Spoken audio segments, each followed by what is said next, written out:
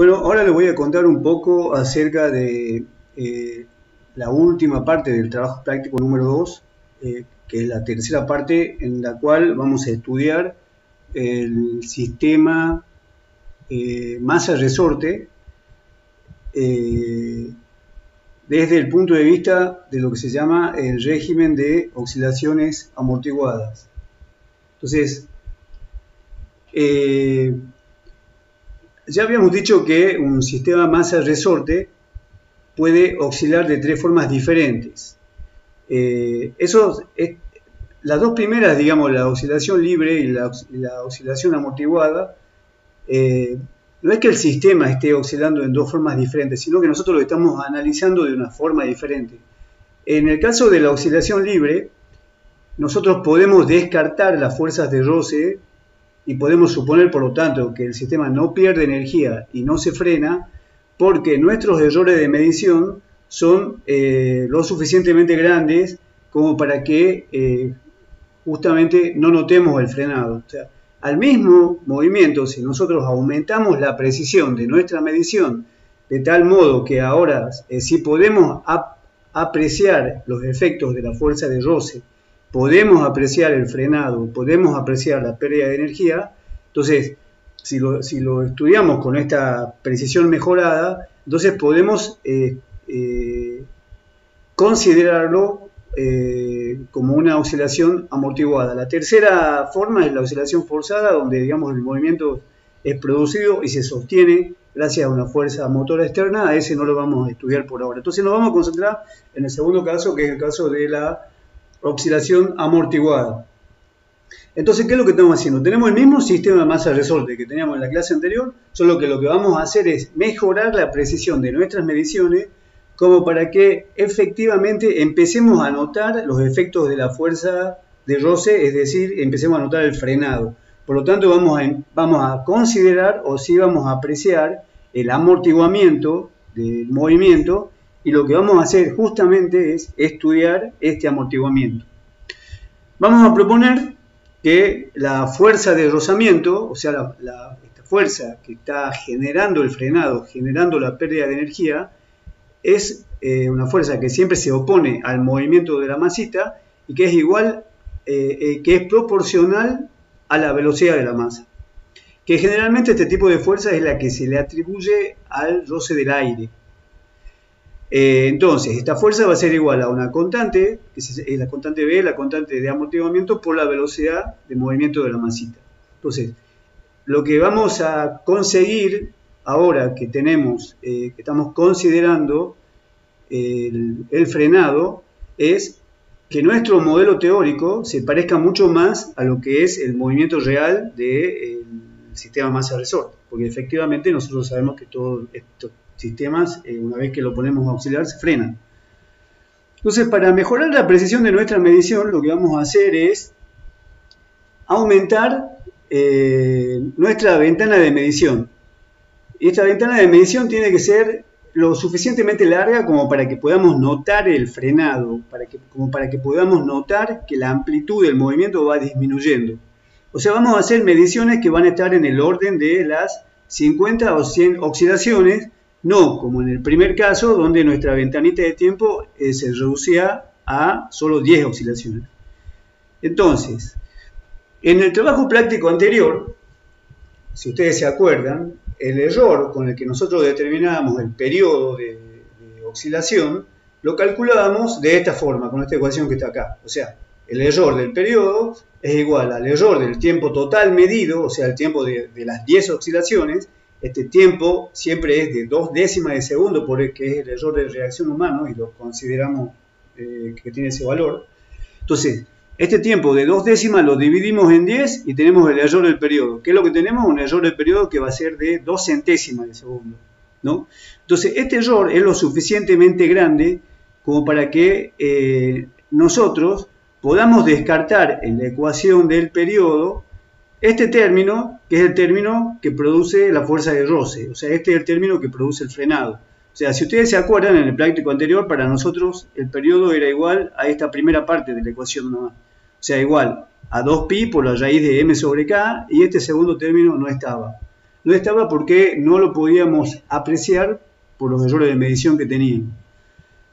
Eh, bien, lo que vamos a hacer ahora es hacer eh, eh, mediciones sobre que abarcan un número mucho más grande de oscilaciones. Por ejemplo, si nuestras mediciones abarcan 100 oscilaciones, ahora sí vamos a estar notando que nuestro sistema se está frenando. En este caso, nuestros, nuestro error en el periodo de oscilación va a ser igual a las dos décimas del tiempo total, ahora va a estar dividido en 100, esto va a dar 2 milésimas, que es menor que el periodo anterior, y al mejorar la precisión de nuestras mediciones, sí vamos a estar notando la existencia de este segundo término en la ecuación del periodo. Entonces, al mejorar la precisión con la que hacemos las mediciones, eh, lo que conseguimos es eh, poder ver o poder estudiar detalles del fenómeno que al principio, con una precisión más pobre no podíamos eh, detectar. Pues, podría ser un ejemplo, por ejemplo, estamos estudiando una estrella, primero con un telescopio de baja calidad, entonces al, tener un, telescopio de baja calidad, la imagen de la estrella eh, es borrosa, no podemos saber bien su tamaño, tampoco podemos saber si hay planetas o alguna otra cosa orbitando alrededor de la estrella y no podemos conocer eh, detalles de su eh, superficie.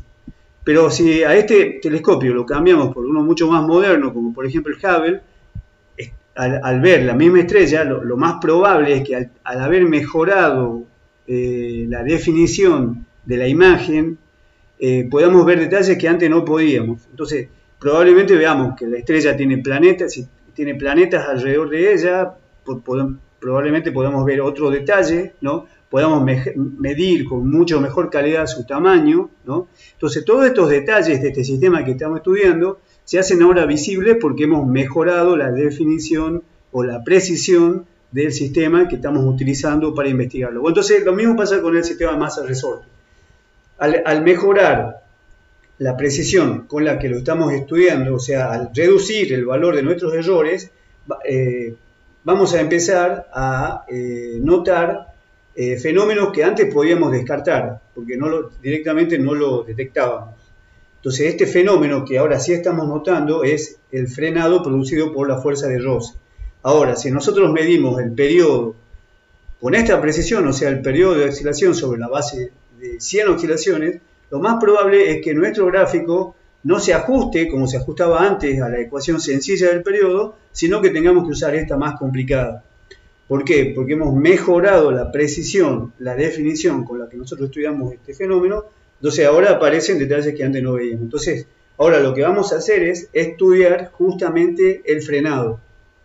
Eso antes no lo podíamos hacer. Ahora lo que vamos a hacer es estudiar justamente el frenado, cómo se amortigua el movimiento.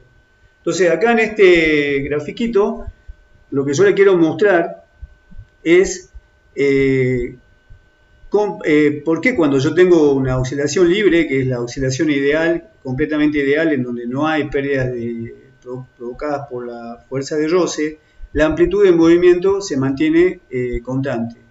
Entonces, si ustedes se fijan, esta masa acá está oscilando, ¿no? Y fíjense, acá lo que he hecho es un, eh, lo, que, lo que hemos dibujado es un sistema de eje donde en el eje horizontal está el tiempo, y en el eje vertical la posición de la masa con respecto a su eh, posición de equilibrio. Entonces, en el instante inicial la masita estaba acá, o sea, en el instante t igual a 0 está en el 0 del tiempo también en el 0 de las posiciones. A medida que la, hacemos que se mueva, ¿no? Eh, va a ir, este, digamos, dibujando esta gráfica porque el tiempo avanza hacia la derecha, ¿no? Y si ustedes se fijan, en, cada oscilación, la elongación máxima del resorte, o sea, esta distancia que es la amplitud, porque llamamos amplitud a la elongación máxima del resorte, en cada elongación esta amplitud se mantiene constante, tiene el mismo valor. O sea, acá esta amplitud, que sería esta, la máxima elongación, también tiene el mismo valor que antes, acá tiene el mismo valor y acá también tiene el mismo valor. O sea, en cada ciclo, esta amplitud tiene el mismo valor.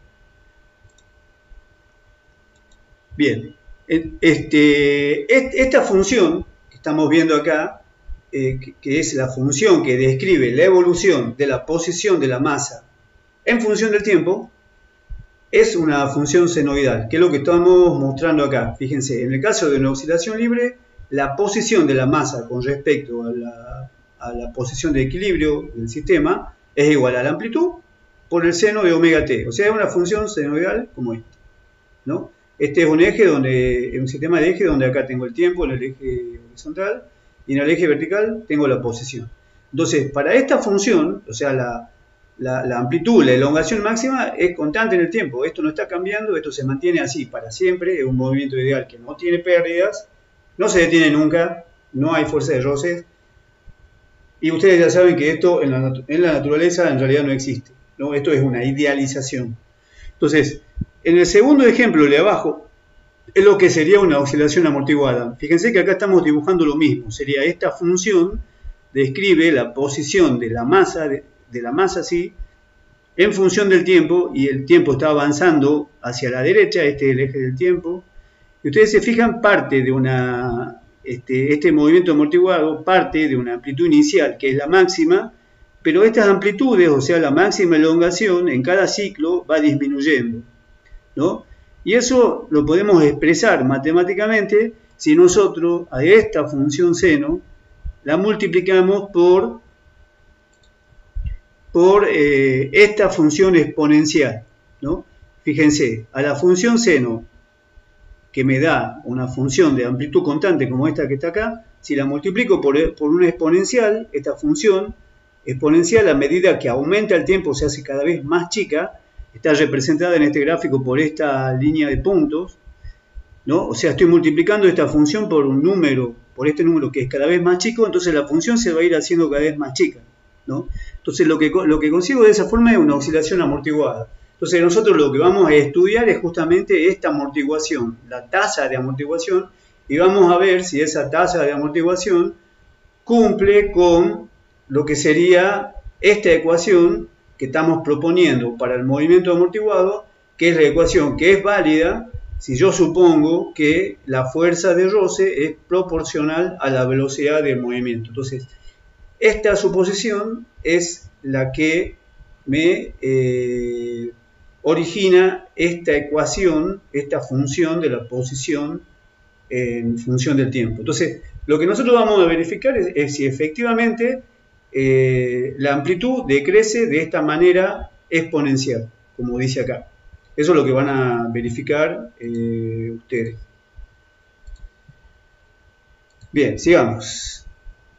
Eh, hay que trabajar un poquito con esta ecuación, ¿no? Nosotros lo que nos interesa es estudiar las amplitudes, ustedes lo que van a medir son las amplitudes de oscilación. para hacer eso, lo, eh, primero que vamos a ver es cuál es la ecuación de la amplitud. Fíjense que la amplitud es eh, la posición eh, de máxima elongación de la oscilación y esta posición se alcanza cuando este seno, esta función vale 1, vale 1 o menos 1, ¿no? Entonces, ¿por qué? Porque 1 o menos 1 son los valores máximos y mínimos del seno. Entonces, cuando esta función vale 1, mi sistema de masa resorte está ubicado en, el punto de elongación máxima, o sea, x igual a la amplitud máxima. Entonces, si seno de omega t vale 1, lo que obtengo es esta función de acá abajo, donde x es igual a alguna de las amplitudes de movimiento, queda multiplicada la amplitud inicial por la exponencial. Entonces, lo que nosotros queremos verificar es esta ecuación. Queremos ver si nuestras amplitudes eh, se van frenando como eh, eh, de acuerdo con esta ecuación. Si siguen lo que sería un eh, decrecimiento exponencial. Entonces ustedes ya saben, lo que, tendrían que hacer ustedes, lo que van a hacer es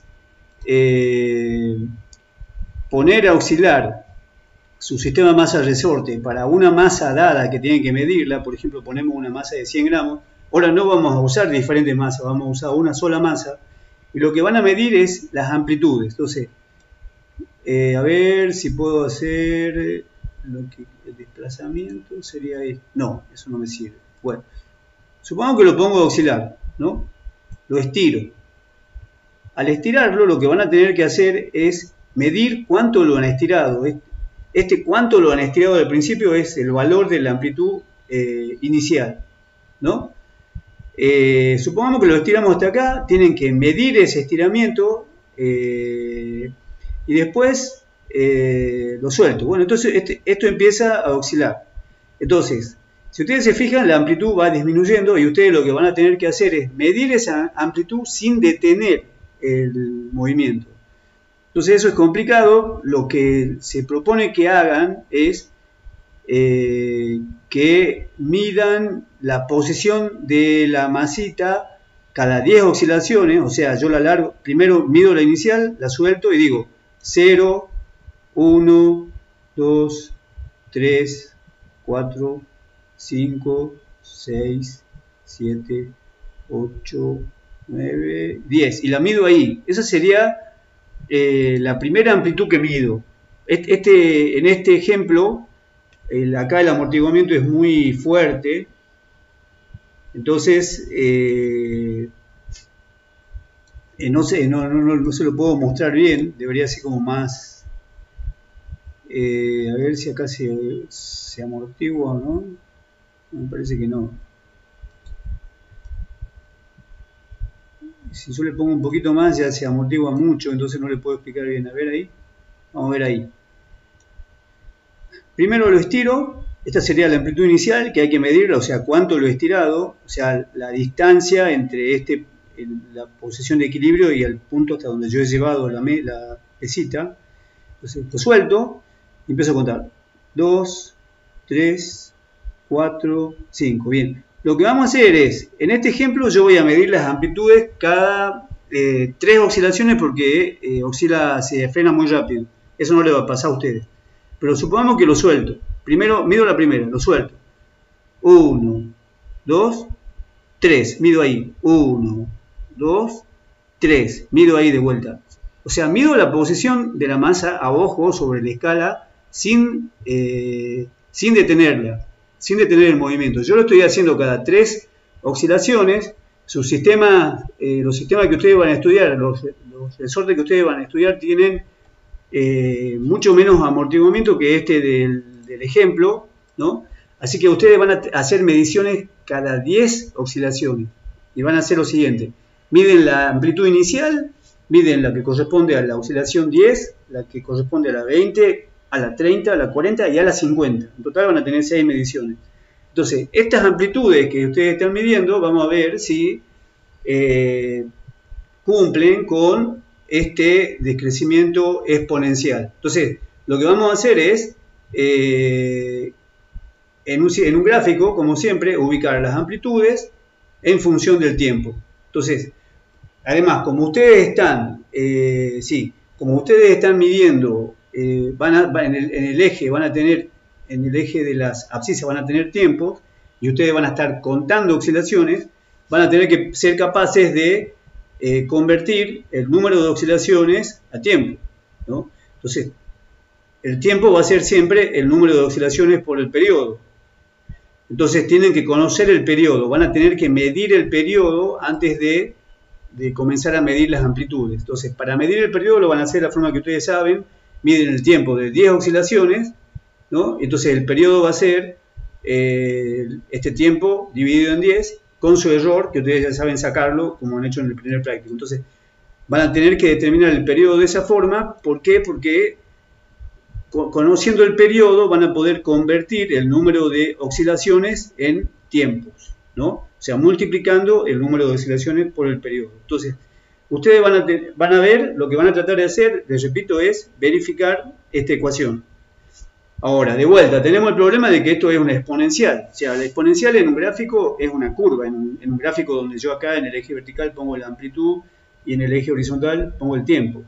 Entonces, si yo grafico eh, estos valores y mido y grafico, por ejemplo, los, valores de esta tabla, donde acá he puesto el tiempo y acá he puesto la amplitud, lo que voy a tener es este gráfico de acá, es una curva que ustedes ya saben que a nosotros no nos sirve, a nosotros nos gusta siempre convertir eh, las, variables, las variables que graficamos de tal forma que eh, nos dé rectas, eso se llama linealizar la función. Entonces, para convertir este exponencial en una recta lo vamos a tener que linealizar. Esa es toda la operación que te he hecho acá. Para linealizar se aplica primero el logaritmo en ambos miembros, o sea, aplico el logaritmo en miembro de la, el logaritmo de el miembro de la izquierda es igual al logaritmo del miembro de la derecha, tengo esta igualdad que está acá. Después, por propiedades del logaritmo, ustedes saben que el logaritmo de un producto es igual a la suma de los logaritmos de cada factor, entonces tengo este resultado que está acá. Después acá, ustedes saben que este exponente dentro del argumento del logaritmo yo lo puedo sacar afuera, entonces queda de esta forma acá adelante, ¿no? Queda eh, logaritmo de a la menos b sobre 2m por t queda igual a menos b sobre 2m por t por el logaritmo de... Bueno, entonces, y el logaritmo de es 1. Entonces, este, este, acá este logaritmo desaparece y queda de esta forma. Entonces, acá en esta ecuación ya la tenemos linealizada, digamos, a la expresión de la amplitud. ¿Por qué? Porque ustedes lo que van a hacer no es graficar en el eje de las ordenadas la amplitud, sino que lo que van a hacer es graficar el logaritmo de la amplitud en función del tiempo. Entonces, si ustedes se fijan, esta expresión es la expresión de una recta, porque yo a este logaritmo de la amplitud le voy a llamar i, ¿no? esta sería mi i, el logaritmo de la amplitud inicial viene a ser una ordenada al origen, le vamos a llamar a minúscula, y a esta, y a esta expresión que es menos b sobre 2m por t, la vamos a convertir en menos p por t, o sea, ahí la, ecuación que nos quedaría sería i igual a a menos p por t, eso si ustedes lo grafican en un sistema de eje donde acá pongo el logaritmo de la amplitud y acá el tiempo, me, va a dar, si es que se cumple, si es que los puntos que ustedes están midiendo cumplen con esta relación, puede ser que no cumplan, eh, lo que le va a dar es una recta con pendiente negativa, o sea, los puntos medidos van a quedar alineados de esta forma, sobre una recta con pendiente negativa. Si obtienen este resultado, bien, quiere decir que su eh, sistema masa-resorte eh, está cumpliendo con el modelo de oscilaciones amortiguadas que nosotros, nosotros hemos propuesto, eh, en el que estamos suponiendo que la fuerza de roce es proporcional a la velocidad. Bien, entonces, para hacer esos gráficos, ustedes ya saben que primero tienen que hacer una tabla. Les repito que antes de hacer la tabla van a tener que determinar el periodo de eh, oscilación del movimiento haciendo una medición, haciendo una medición del tiempo de 10 oscilaciones y dividiendo este tiempo en 10, como ustedes ya saben hacer. Entonces, ustedes van a medir la amplitud del movimiento. Primero la amplitud inicial, después la amplitud a las 10 oscilaciones, a las 20, después las 30, después las 40 y después las 50. Entonces supongamos que las amplitudes medidas son estas. Primero la amplitud inicial es 16 centímetros, a las 10 oscilaciones tenía 7,2 centímetros, a los 20 oscilaciones tenía 3,2 centímetros. ¿no? Bueno, estas son las amplitudes que he podido medir eh, de esta manera. Entonces, eh, en esta segunda columna lo que he hecho es convertir el número de oscilaciones a tiempo, o sea, he multiplicado el número de oscilaciones por el periodo y ya tengo acá eh, los valores que corresponden al tiempo en el que he efectuado cada medición. ¿no? este sería el error con el que conozco el tiempo. Este error, ya este, en la siguiente diapositiva les explico cómo se calcula. Esta sería la amplitud medida. Y estos serían los errores de la amplitud. Fíjense que la primera amplitud que yo mido cuando está quieto, el error es de apenas de un milímetro. ¿Por qué? Porque está, digamos, al estar inmóvil, tengo mucha precisión en la medición, pero después yo le he asignado siempre un error de 3 milímetros porque estoy midiendo en movimiento. Entonces, este, este, error es grande. No es que pues, yo la, detengo la pesa en el, punto extremo al que ha llegado, sino que es a ojo y en movimiento. Entonces, este, yo le asigno este valor más grande al error de la amplitud, que incluso Fíjense que en la última medición el error es tan grande como el valor mismo de la amplitud. Acá está el cálculo del logaritmo de estos valores de acá, o sea, este logaritmo de, eh, del primer valor sería este, estos son los logaritmos, y estos son los errores del logaritmo que eh, se calculan haciendo el error, eh, son, es igual, el error, perdón, del logaritmo es igual al error, al error de la amplitud sobre la amplitud, ¿no? Entonces tienen que hacer esta tabla. Y lo que van a graficar es este, este, esta segunda, eh, perdón, esta, la quinta columna, la, del logaritmo de A, en función del tiempo, o sea, en función de la segunda columna. Entonces ya saben, si las cosas salen bien, lo que van a tener es una gráfica de este tipo. ¿no? Acá tengo el logaritmo de la amplitud en el eje de las ordenadas y acá tengo en el eje de la abscisa del tiempo. Si ustedes se fijan, los puntos le van a quedar de esta forma, sea, con errores cada vez más grandes, porque eso está pasando, porque tanto el error del tiempo como el error del logaritmo de la amplitud se van haciendo cada vez más grandes, ¿no? Si su sistema se porta bien, de acuerdo a este modelo de oscilaciones amortiguadas, estos puntos van a quedar alineados y ustedes van a poder trazar la recta, ¿no? Bien, entonces volvamos ahora al asunto de cómo he calculado el error de este tiempo, ¿no? El asunto es que, fíjense, ustedes al tiempo este lo calculan con una ecuación, es igual al número de oscilaciones por el periodo. O sea, este, este tiempo, eh, para conocerlo tenemos que usar una ecuación, entonces para conocer el error de este tiempo hay que propagar esta ecuación. Entonces, la propagación está acá, o sea, la, ecuación que tengo que propagar es t igual a n por el periodo.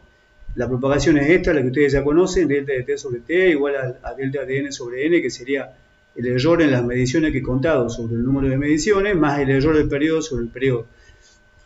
Si se supone que he contado bien, entonces yo puedo decir que no hay error en el número de oscilaciones que he contado y puedo descartar este término, entonces finalmente me queda que el error del, tiempo sobre el tiempo es igual al error del periodo sobre el periodo. Acá lo que he hecho es eh, reemplazar el tiempo por lo que es, es n por el periodo, entonces se van los dos periodos y paso multiplicando el número de oscilaciones al miembro de la derecha y me queda que finalmente el error del tiempo es el número de oscilaciones por el error del periodo. Entonces, con esa ecuación he calculado estos errores. Y ustedes fíjense que el número de oscilaciones va aumentando, entonces el error del tiempo medido de esta forma también va aumentando cuando en la medición que corresponde a 50 oscilaciones es bastante grande, igual a 7 décimas de segundo. ¿no? Bien. Sigamos, ahora cómo llegamos a este resultado de que eh, el error del logaritmo de la amplitud es igual a el error de la amplitud sobre la amplitud, eso está explicado acá. Esto lo habíamos visto creo en esas lecturas complementarias que se habían dado por correo, cómo se propaga eh, una ecuación eh, de este tipo, como la del logaritmo, como la del seno, que creo que se llama ecuación trascendente, pero no me acuerdo bien. Entonces acá lo que hay que hacer es derivar, se supone que ustedes a esta altura ya saben derivar, o sea, la derivada del logaritmo de, eh, la amplitud sería este, eh, e, este, esta expresión que está acá. Acá lo único que vamos a hacer es reemplazar los diferenciales por los errores, o sea, por los deltas. Y de acá despejamos eh, lo que sería el error del logaritmo de A, porque I es el logaritmo de A, ¿no? Entonces me queda igual a delta de A sobre A, ese es el valor que van a poner en la última columna. Entonces, lo que, repito, lo que van a graficar es el tiempo con su error en el eje de las abscisas y el logaritmo de la amplitud con su error en el eje de las ordenadas. Si está todo bien, tienen que obtener una eh, gráfica de este tipo. ¿no? Es una recta que tiene pendiente negativa. Eh, si obtienen este resultado, quiere decir que eh, con, la precisión con la que nosotros estamos estudiando el movimiento, sí podemos considerar que la amplitud de oscilación de nuestro sistema masa-resorte está decreciendo de forma exponencial, como indica el movimiento de oscilaciones amortiguadas. Entonces, una vez que se a este punto, el siguiente paso es, como siempre, obtener los parámetros de la recta, que son dos. Son la pendiente, que la habíamos llamado P, ¿dónde está? Acá, creo que está. La habíamos llamado P, y la ordenada al origen, ¿no? que es igual al logaritmo de la amplitud inicial. Entonces, ustedes eso lo pueden verificar. Esta ordenada al origen, ustedes la pueden medir a partir del gráfico y pueden verificar si eh, el logaritmo de su amplitud inicial es igual al valor que indica acá el gráfico, que está cerca de 4,5. ¿eh? Su al origen está cerca de 4,5 en este caso, en mi gráfico. No sé cuánto les saldrá a ustedes. Entonces, el logaritmo de mi amplitud inicial debería ser como 4,5. Lo otro que van a hacer, como ustedes ya saben, es calcular la pendiente de la recta, o sea, tomando dos puntos sobre la recta, lo suficientemente alejados entre sí, calculan las coordenadas de esos dos puntos y hacen eh, y usan esta ecuación, ¿no? que dice que la pendiente P es igual a, la diferencia de las ordenadas sobre la diferencia de las abscisas. ¿no? Entonces, eh, en nuestro caso, eh, nuestra recta tomaría esta forma. O sea, la forma general de una recta es I igual a la ordenada del origen más b por x. Nuestra forma particular, nuestro y es logaritmo de a, ¿no? nuestra ordenada del origen es logaritmo de a0, y nuestra pendiente en este caso es negativa y se llama p. Entonces a la pendiente la obtenemos de vuelta con esta expresión, que es sencillamente la diferencia de las ordenadas sobre la diferencia de la abscisa de estos dos puntos eh, que hemos elegido sobre la recta. Y después para encontrar el error de la pendiente hay que propagar esto, la propagación es esto que está acá, ¿no? Acá está, digamos, reemplazado el error del logaritmo de a por lo que es. Acuérdense que el error del logaritmo es este cociente, delta de a sobre a, ¿no? Entonces, de esta forma, tenemos acá, si despejamos delta P, tendríamos ya lo que sería el valor acotado de la pendiente, o sea, P más menos delta de P. ¿Qué es lo que le faltaría hacer en este caso? A partir de esta ecuación, nosotros sabemos acá, porque dice acá, ¿dónde está? A ver. Acá le hemos llamado a B sobre 2M, si se fijan, acá le hemos llamado P, o sea que P es igual a B sobre 2M.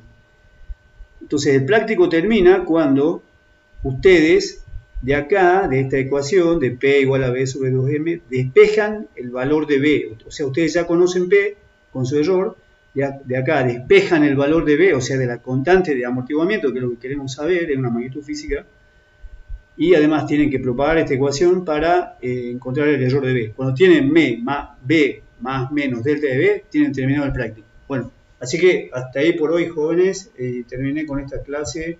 Espero que no les resulte muy eh, complicado.